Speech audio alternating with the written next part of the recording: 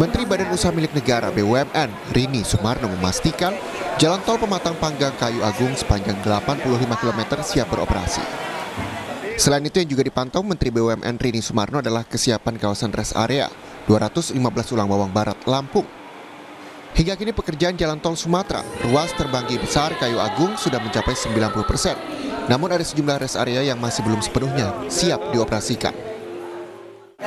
Siap untuk dioperasikan. Memang kita ingin menunggu sekalian supaya pematang panggang kayu agung juga bisa dilakukan. Jadi nanti kita akan coba melihat masih ada beberapa hal yang harus diselesaikan sama dari kayu agung ke Palembang.